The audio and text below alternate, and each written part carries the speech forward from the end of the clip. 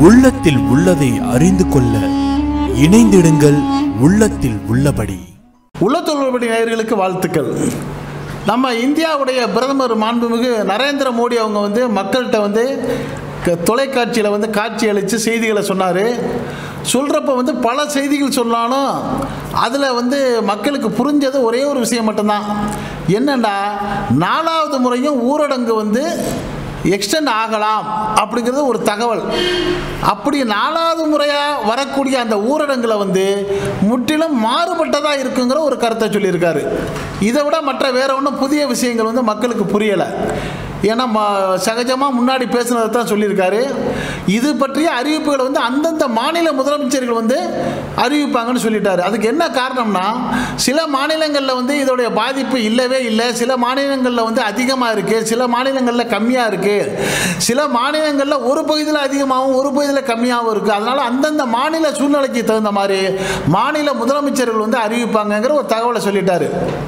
சொல்லிட்டு கடைசியாக அவர் சொல்கிற ஒரு ஒரு வாக்கியம் என்னென்னா உலகத்தில் கடுமையாக பாதிக்கப்பட்டு இருக்கிற இந்த தொற்று நோய் வந்து நம்ம இந்தியாவில் கம்மி. ஏன்னா கிட்டத்தட்ட நூற்றி முப்பத்தி நாலு கோடி மக்கள் இருக்கிற இடத்துல நம்ம வந்து ஒரு எழுபத்தி நாலாயிரம் ஒரு எண்பதாயிரம் பேர் வந்து பாதிச்சிருக்கிறோங்கிறது ஒரு வகையில் கம்மி. இருந்தாலும் இது மேலே பரவ விடாமல் நம்ம பாதுகாக்கணும்.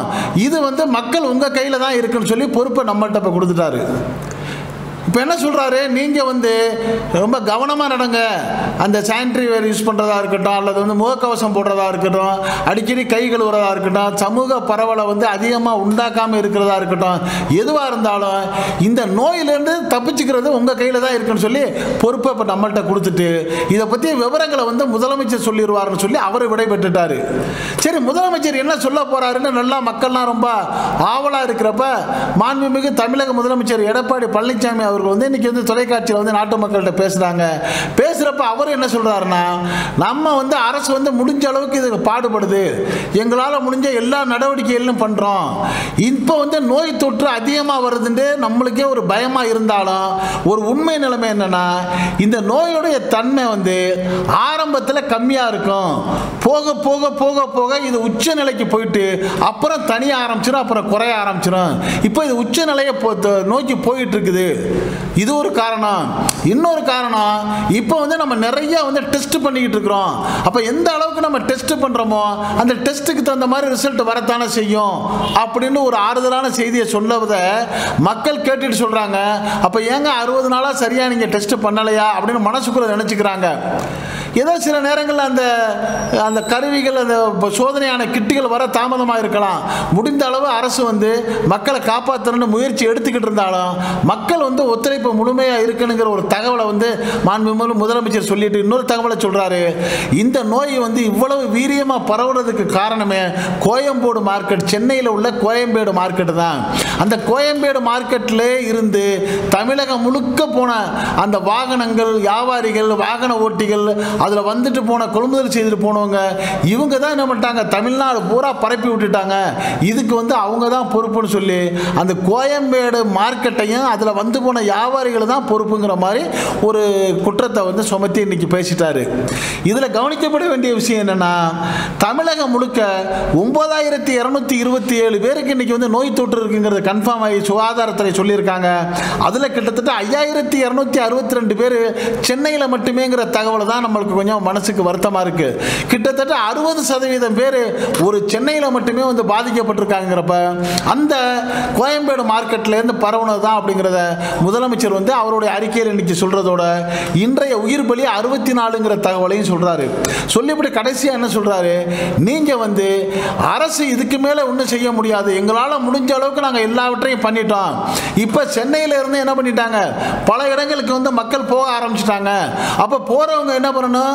ஓரளவு அவங்கவுங்க அவங்கள வந்து தனிமைப்படுத்தி ஒரு பதினாலு நாட்கள் வீட்டில் அவங்களுக்கு சந்தேகமாக இருக்கிறவங்களாம் வீட்டில் தனிமையாக இருந்தால் அது அவங்களுக்கு நல்லது அவங்க குடும்பத்துக்கு நல்லது அந்த ஊருக்கு நல்லது. அதை அவங்க தான் இதை பராமரிச்சுக்கணும். ஏன்னா ஒரு மிகப்பெரிய மாநிலம் அந்த தமிழகம். ஒவ்வொரு வீட்டுக்குள்ளேயும் வந்து அரசு கவனிக்க முடியாதுங்கிற இன்னொரு பொறுப்பையும் நம்ம மக்கள்கிட்ட வந்து மாண்புமிகு முதலமைச்சர் சொல்லியிருக்காங்க. சொன்னதோடு மட்டும் இல்லாமல் ஏற்கனவே சொல்லி சொல்லிக்கிட்டு வந்த வழிமுறைகளை திருப்பி அவர் சொல்லியிருக்கிறாரு. அடிக்கடி நீங்கள் வெளியில் போகிற பா தேவையில்லாமல் வெளியில் சுற்றுறதை குறைச்சிக்கோங்க. வெளியில் போயிட்டு வந்தால் சோப்பு போட்டு கை கால் முதல்ல எல்லாம் சுத்தமாக கழுவிடுங்க. அது மட்டும் இல்லாமல் உடைகளை மாற்றிடுங்க முடிஞ்ச அளவுக்கு நீங்கள் வந்து வீட்டுக்குள்ளே தனித்திருங்க விழித்திருங்க விலகிருங்கிற அந்த கொள்கையையும் திருப்பி அவர் சொல்லியிருக்காரு.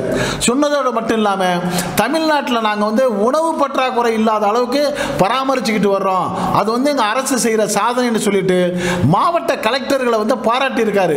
இந்த போராட்டத்தில் மக்களை வந்து மீட்கிறதுக்கு பாதுகாக்கிறதுக்கு மிக கடுமையாக உழைச்ச மாவட்ட ஆட்சித்தலைவர்களுக்கெல்லாம் நன்றின்னு சொல்லியிருக்காங்க.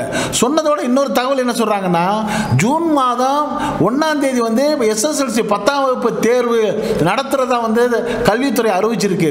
ஆனால் அதே சமயம் சில எதிர்க்கட்சிகளும் சில மற்ற தலைவர்களும் சில கல்வியாளர்களும் இப்போ நீங்கள் வந்து வைக்காதீங்கன்னு சொல்கிறாங்க ஆனால் நாங்கள் வந்து அந்த ப பொதுத் தேர்வை வந்து நடத்துறதுக்கு திட்டம் திட்டமிட்டிருக்கோம் இப்போவே அறிவிச்சா தான் மாணவர்கள் வந்து படித்து தயாராகிக்கிடுவாங்க அது மட்டும் இல்லாமல் சிலர் சொல்கிறாங்க நீங்கள் வந்து ஒருவேளை இந்த ஊரடங்கு நாலாவது தளர்வு வந்து அந்த ஜூன் ஒன்றா முப்பதாம் மே முப்பதாம் தேதி வரை வந்தால் முப்பதாம் தேதி வரைக்கும் வெளியூரில் இருக்கிற மாணவர்கள் வந்து ஒன்றாம் தேதி எப்படி பரீட்சை எழுத போவாங்க?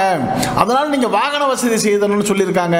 அதனால் இந்த மாண்புமிகு முதலமைச்சர் வந்து மாவட்ட ஆட்சித்தலைவர்களுக்கு உத்தரவு போட்டிருக்காங்க. வாகன வசதியை ஏற்படுத்தி கொடுத்து மாணவர்கள் வந்து அவங்க வெளி வெளியூருக்கு புலம்பெயர்ந்து சென்றவங்க அவங்க இருப்பிடத்துக்கு செல்லக்கூடிய வசதிகளை வந்து மாவட்ட ஆட்சித்தலைவர் செய்யணும் அப்படிங்கிற ஒரு தகவலையும் சொல்லியிருக்காரு. சொல்லிவிட்டு இன்னொரு ஒரு இனிப்பான தகவலை சொல்லியிருக்காரு. என்னன்னா சில விதிமீறல்களை மீறின கடைகளுக்கு வந்து இந்த சுகாதாரத்துறையும் காவல்துறையும் போட்டு சீல் வச்சுட்டு சீல் வச்சுட்டு வந்தாங்க. அப்படி சீல் வைக்கிறப்ப அந்த கடைகள்லாம் வந்து தளர்வு ஆக்கப்பட்டும் திறக்காமல் இருக்கு சீல் உடைக்கப்படாமல் இருக்கு. ஏன்னா யார் வச்சாங்களோ அவங்க தானே போய் ஓப்பன் பண்ணணும். அப்போ இதுக்கு யார் உத்தரவிடுறங்கிறப்ப இந்த வியாபாரிகளுக்கு கொஞ்சம் மனசு சந்தோஷப்படுற மாதிரி முதலமைச்சர் ஒரு அறிவிப்பு சொல்லியிருக்காரு. விதிமீறல்களால் சீல் வைக்கப்பட்ட கடைகளை வந்து அவங்களெல்லாம் ஒரு கண்டிஷன் பண்ணி இனிமேல் இந்த மாதிரி நடக்கக்கூடாது.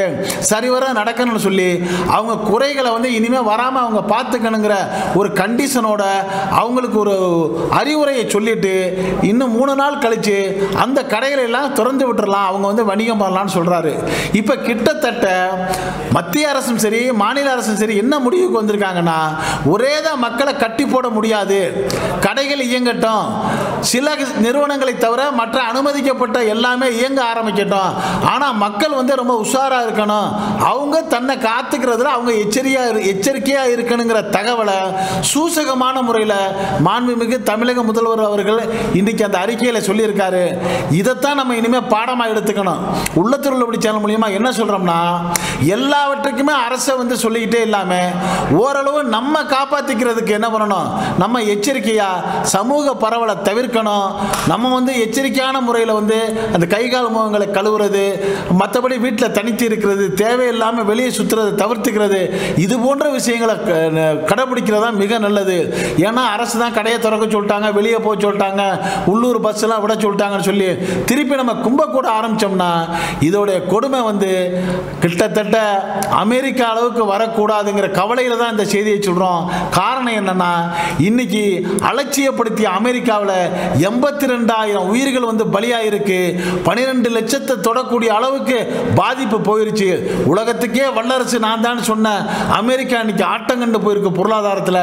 இந்தியாவை வந்து நம்ம காப்பாற்றணும் இந்தியாவை மட்டும் இல்லை தமிழகத்தை காப்பாற்றணும் நம்ம மாவட்டங்களை காப்பாற்றணும் நம்ம ஊரை காப்பாற்றணும் நம்ம வீட்டை காப்பாற்றணுங்கிறப்ப நாம் மறுபடியும் சொல்கிறோம் தனித்திருப்போம் விழித்திருப்போம் சமூக பா பரவலை தவிர்த்து இருப்போம் என்று கூறி இதை நீங்கள் கடைபிடிக்கணுங்கிற நல்ல கருத்தை தகவலை இந்த உள்ளத்து உள்ளபடி சேனல் மூலியமாக சொல்கிறோம் இதை பற்றி உங்களுடைய கருத்துக்கள் இந்த கமெண்ட் செக்ஷனில் பதிவிடுங்க.